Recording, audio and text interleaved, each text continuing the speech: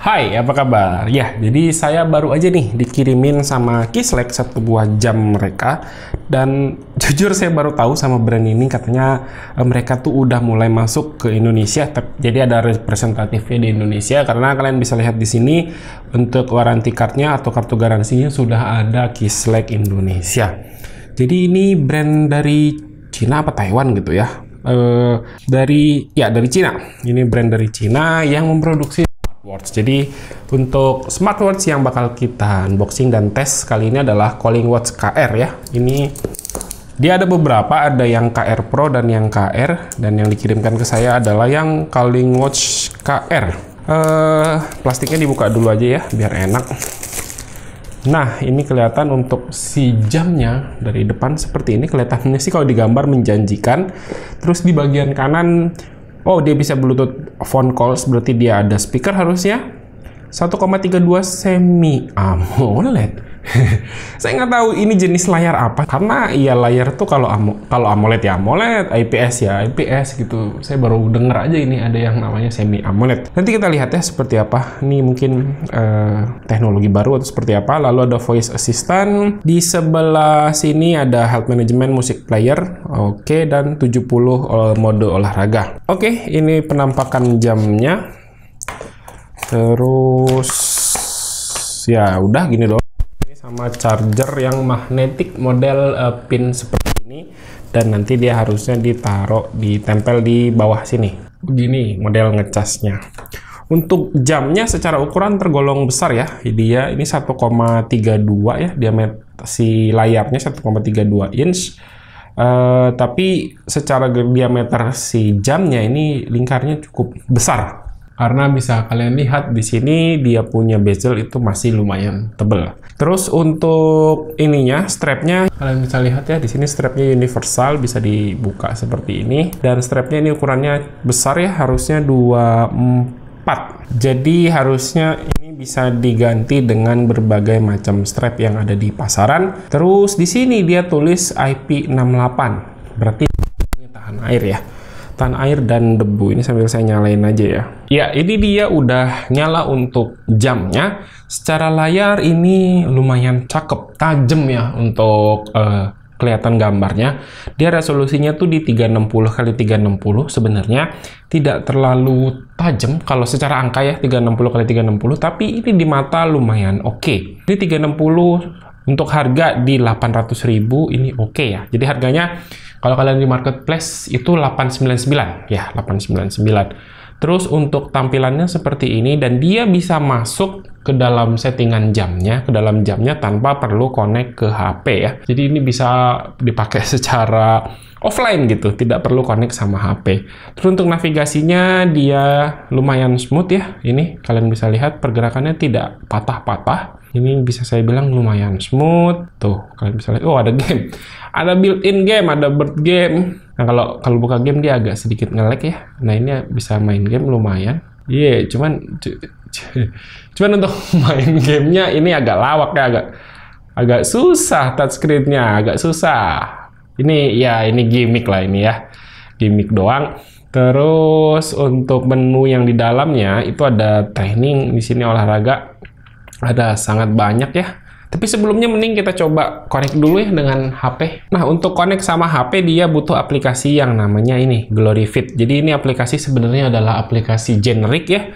Dipakai di banyak brand, jadi ini bukan uh, aplikasi yang khusus untuk si Kislek ini. Ini saya login dulu. Oke, ini udah connect dengan jamnya. Ini sangat mudah ya untuk connect ke jamnya ini kalian bisa lihat dia langsung terkoneksi seperti baterai, terus ini bisa banyak ya ada Bluetooth call with watch. Jadi ini bisa nelpon ya menggunakan uh, jamnya. Ini saya sambil coba pasang di tangannya ya. Oke, ini udah kepasang kalian bisa lihat sendiri ini cakep ya. Strapnya juga lentur, lembut jadi enak ya dipakai nggak ada kendala lah menurut saya.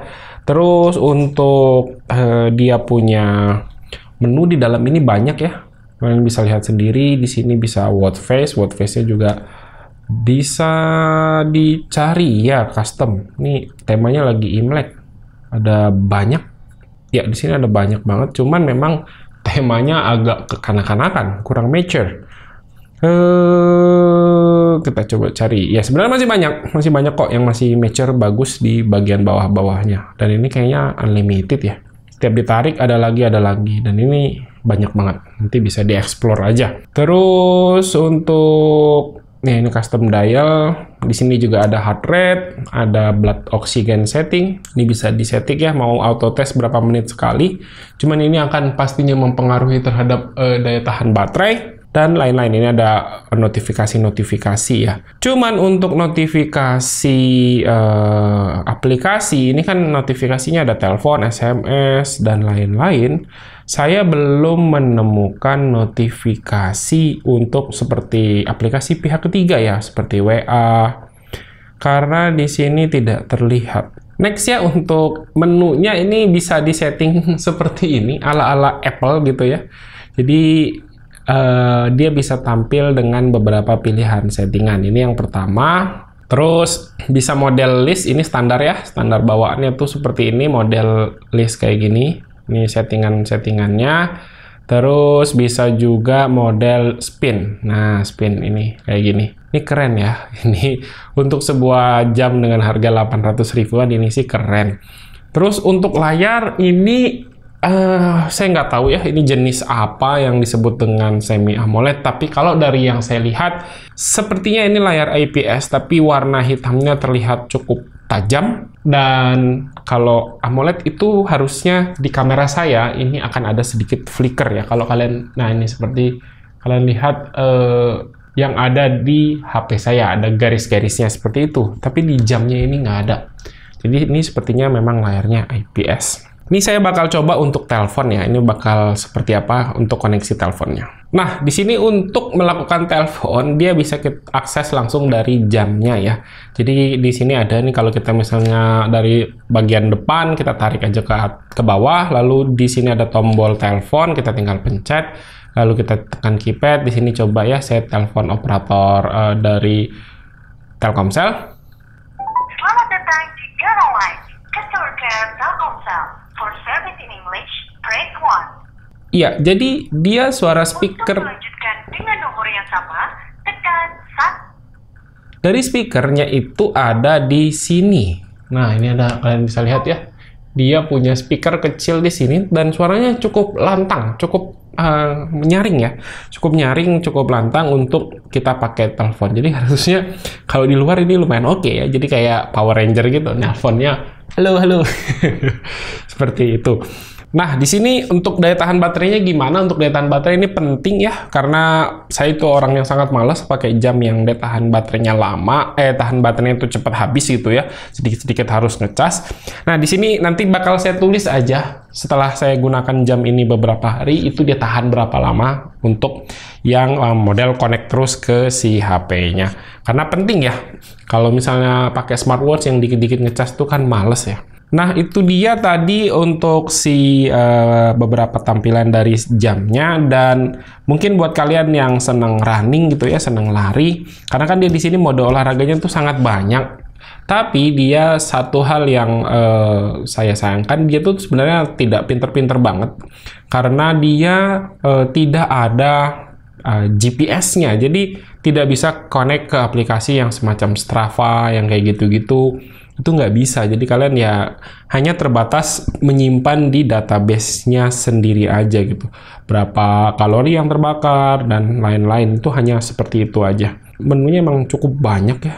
Kalian bisa lihat sendiri sangat banyak malah ini untuk menu-menunya sesuai dengan yang mereka bilang 70 mode olahraga dan seberapa akuratnya sih ah, itu saya kurang tahu karena ya memang setiap jam kadang-kadang itu beda apalagi eh, di, jika disamakan atau jika di, dikomparasikan dengan alat medis itu bakal biasanya bakal beda. Nah di sini saya bakal coba tes heart rate-nya, saya bakal tes heart rate-nya akan bandingkan dengan eh, jam yang harganya jauh lebih mahal. Kira-kira uh, akurat apa enggak ya? Ini heart rate ada di 96. Di sini bakal saya coba komparasikan dengan jam yang harganya jauh lebih mahal. Selisihnya lumayan jauh ya, 96 ke 88 uh, BPM itu lumayan beda.